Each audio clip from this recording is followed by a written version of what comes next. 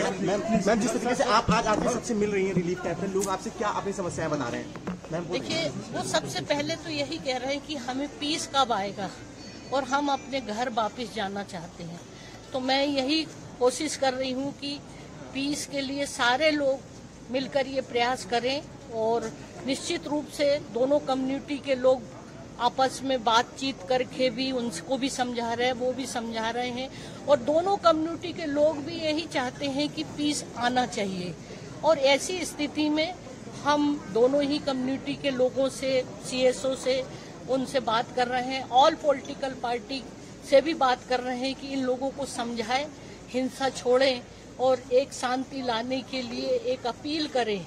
लोगों को एक शांति लाने के लिए सद्भावना जैसे पहले यहाँ पीस था वैसी स्थिति फिर से आ जाए यही हम सब लोगों को समझा रहे हैं। आज पूरा अपोजिशन आ रहा है मैम यहाँ पे।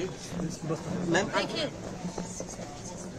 और जो लोग भी आ रहे हैं यहाँ पर देखने आ रहे हैं पीस लाने के लिए और उनसे भी मैं यही कहूँगी कि आप यहाँ की जनता और यहाँ की जो स्थिति है उसमें पीस लाने के लिए आप सबका सहयोग मिले मैं उनसे भी यही प्रार्थना करती हूँ। Thank you não